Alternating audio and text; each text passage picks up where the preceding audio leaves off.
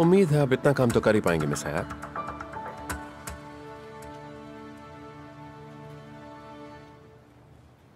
वैसे मुझे मिस हयात की बात बिल्कुल सही लग रही है। हाँ मुझे भी। हम बहुत बड़ी इन्वेस्टमेंट करने जा रहे हैं। घिसे पिटे डिज़ाइन से शुरुआत नहीं कर सकते। अगली बार आप कुछ नए और यूनिक आइडियाज़ के साथ आइएगा। तो मीटिंग खत्म करते हैं। देखो शेंक मुराद ड्रैगन की तरह है हमेशा आग उगलते रहता है।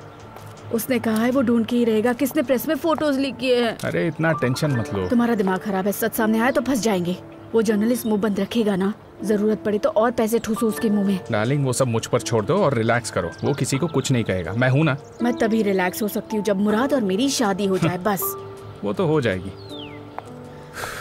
क्यों ना हम कहीं घूमने चलें? मैं भी यही सोच रही थी। किसका कॉल है? एक मिनट रुको। हेलो बोलो कौन है? हेलो क्या मैं दिदम से बात कर सकती हूँ? ज़ोर से ज़ोर से बोलिए सुनाई नहीं दे रहा। दिदम से बात करना चाहती हूँ अजीमे बोल रही हूँ। लगता है आपने रॉन्ग नंबर डायल किया है। अरे नहीं। अ- अजीमे बोल रही हूँ अजीमे। कौन है दिदम? कोई बुढ़िया है। अरे मैम आपने चंदा मांगने के लिए फ़ोन किया है क्या? उफ कहाँ कहाँ से चले आते हैं? बेटा मैं अजीमे सारसल माज हूँ मुराद की दादी जान। क्या कैसी है कैसी है आप दादी जान? तबीयत ठीक है ना आपकी? मैंने पहचाना ही नहीं। बताइए। मुझे समझ नहीं आ रहा। असला तुम्हें कैरम को मेरा कज़न बनाने की क्या ज़रूरत थी? समझने जैसा क्या है? अगर असले जैसी दोस्त हो तो। तुम दोनों समझने की कोशिश क्यों नहीं कर रही? मैंने जानबूझ के थोड़ी ना किया है कुछ। लेकिन आज जो कुछ भी हुआ ना उसके बाद मैं कैरम को नहीं मिल सकती हूँ। लजीज खाना हाजिर है। चलो चलो जल्दी सब अपनी प्लेट्स आगे करो। ओह क्या दिख रहा है? हाँ तुम सब घर का खाना मिस करती होंगी ना तो सोचा आज कुछ बढ़िया बनाती हूँ। आप बहुत ही अच्छी हैं अमीना आंटी। इस लजीज खाने के लिए शुक्रिया। अरे कोई बात नहीं मज़े से खाओ सब लोग। आ, तुम्हारे लिए कुछ लड़कों की लिस्ट फाइनल की हाँ। है। तो उन लड़कों से कब मिलना शुरू कर सकते हैं बताओ मुझे? लाइफ में ऑलरेडी बहुत प्रॉब्लम्स है आप उसे और मत बढ़ाइए। आज ऑफ़िस में सबके सामने मेरी इंसल्ट हुई है पता है? वहाँ की प्रॉब्लम्स तो बढ़ती जा रही है और आपको इस बीच मेरे लिए लड़का ढूंढना है। आई एम सॉरी पर इस वक्त मेरे दिमाग में शादी तो बिल्कुल भी नहीं है। तो ठीक है। अगर हमने तुम्हारे प्रॉब्लम सॉल्व कर दिए तो तुम लड़के देखने को राज़ी हो जाओगी?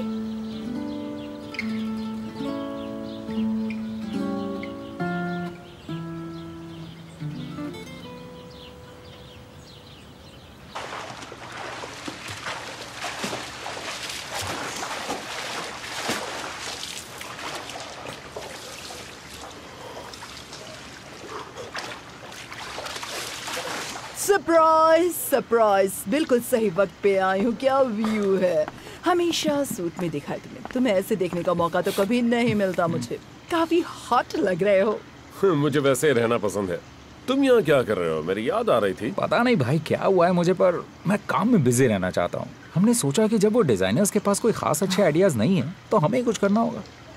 और हमने सोचा क्यों ना आपके घर को ही ऑफ़िस बना लिया जाए। तुम्हारी बातों ने तो मुझे सच में रुला दिया। देखो ये पूल भी मेरे आंसुओं से पूरी तरह भर गया अब तो अगर मैं मर भी जाऊँ तो मुझे कोई गम नहीं होगा दुर्गा। अरे बाद में मरना भी बहुत सारे काम बाकी हैं। हम इस प्रोजेक्ट में साथ काम करेंगे तो बाद में तुम कोई डिज़ाइन रिजेक्ट नहीं करोगे और मैं तुम्हारे डिसीज़न से बोर नहीं होऊँगा। मुझे मंजूर है। चलो काम शुरू करते हैं। आज इस घर में सारे जीनियस मिलकर काम करने वाले हैं। आइडियाज़ का तूफ़ान आने वाला है। तुम्हें ठंड लग रही हो तो मैं गले लगा लूँ। ऑफ़र अच्छा है। मैं इस बारे में सोचूँगा। फ़िलहाल तुम दोनों अंदर जाओ मैं थोड़ी देर में आता हूँ। घर तो बहुत बढ़िया होना ही चाहिए लेकिन कंफर्टेबल होना बहुत ज़रूरी है। फादिक मेरी दोस्त मेरी बहन तुम बताओ एक अच्छे घर में वो सबसे ज़रूरी चीज़ क्या होती है? बताओ तुम मुझे। लेस सबसे ज़रूरी चीज़ होती है लेस। एक लेस के बिना घर कभी घर नहीं हो सकता। आप अपनी उंगलियों से स्पाइडर वुमन की तरह लेस उगाएँगी है ना फादिक आंटी हाँ क्यों नहीं? ग्रेट आइडिया लेस का बिज़नेस शुरू करते हैं। हर घर के लिए लेस। हम आपके घरों की दीवारें पूरी तरह लेस से सजा देंगे। ये क्या बकवास है? मज़ाक उड़ा रही हो? नया ट्रेंड पुराना हुआ है और पुरानी चीज़ें नहीं। आजकल हर जगह पुरानी चीज़ें बेचने वाली दुकानें लगती हैं। नहीं मुझे तो लेस का आइडिया पसंद है। बहुत बढ़िया है। उन्हें घर सजाने के बारे में क्या पता है? अगर उन पर छोड़ा जाए तो घर के लिए कारपेट भी ना खरीद पाए। पर्दे लाने के लिए कहेंगे तो बेडशीट उठा कर ले आएँगी। उन्हें तो कुछ भी पता नहीं है कि घर कैसे रखते हैं। आखिर कोई एक्सपीरियंस भी नहीं है ना? अगर इन लोगों ने सुबील का आलिशान घर देखा तो ये पागल हो जाएँगे पागल। क्यों फादी तुम्हें सुबील का घर याद है ना? बिल्कुल याद है दीदी। ओ, वो किचन में फलों के बड़े बड़े पेंटिंग्स गोल्ड फॉइल में सजा हुआ लिविंग रूम और बड़ी बड़ी शादी के ड्रेस में लगी फ़ोटोज़। कितनी बेहतरीन सजावट की बता नहीं सकती। फादी हम सुबील को कॉल करते हैं। वो हमें ज़रूर अच्छे आइडियाज़ देगी। हाँ। सच में हाँ। उसका ऐसे कामों में बहुत तजुर्बा है। क्या बात है? प्रॉब्लम सॉल्व हो गई। हम ना सुबिल को सारते में एक अच्छी सी जॉब दिलवा देंगे। इनफैक्ट कल ही सुबिल मेरे साथ आकर कॉन्सेप्ट समझाए तो कैसा रहेगा? हाँ? अजीम है आंटी। आपको अंदाज़ा भी नहीं है। आपसे मिलकर मैं कितनी खुश हूँ। लगता है मैं खुशी के मारे पागल हो जाऊँगी। बैठो बैठो बेटा। तुम मुझे आंटी क्यों कह रही हो? अब मैं आंटी तो नहीं रहूँगी तुम्हारी। क्या पता? जल्द ही तुम मुझे दादी जान कहने लगो। आ? मुझे यकीन ही नहीं हो रहा। दीदान बेटा मुराद मेरे लिए मेरी जान से बढ़कर है। मैं उसके करीबी लोगों को जानना चाहती हूँ। हम्म, दरअसल इसीलिए मैंने तुम्हें आज घर पर मिलने को बुलाया। शुक्रिया।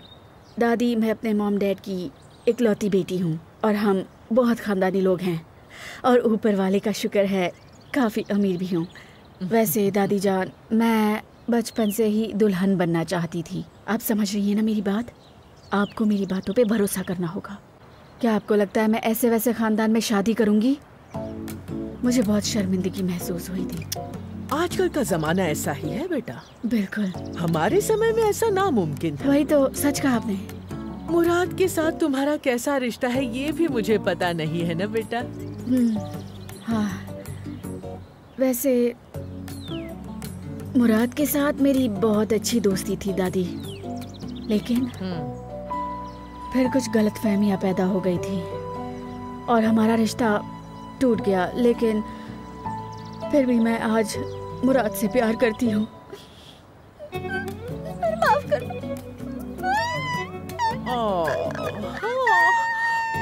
उदास मत हो बेटा खुद को संभालो। हर मुसीबत का हल होता है दिदैम हाँ?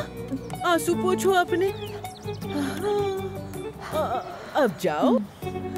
और हम दोनों के लिए बढ़िया सी चाय बनाओ। और कुछ हल्का फुल्का स्नैक्स भी बनाना। हम दोनों के लिए। बना लोगी ना? हाँ हाँ बिल्कुल दादी। ये देखो ये वाला तुम्हें पसंद आएगा।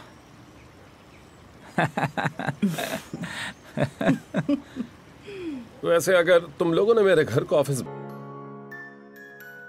Thank you.